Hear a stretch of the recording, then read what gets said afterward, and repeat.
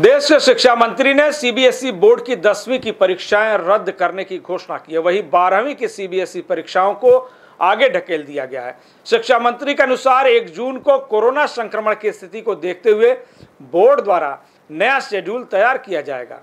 तय समय से पंद्रह दिनों पहले छात्रों को सूचित किया जाएगा। दसवीं बोर्ड का अंतिम परिणाम बोर्ड द्वारा विकसित ऑब्जेक्टिव क्राइटेरिया के आधार पर तैयार होगा।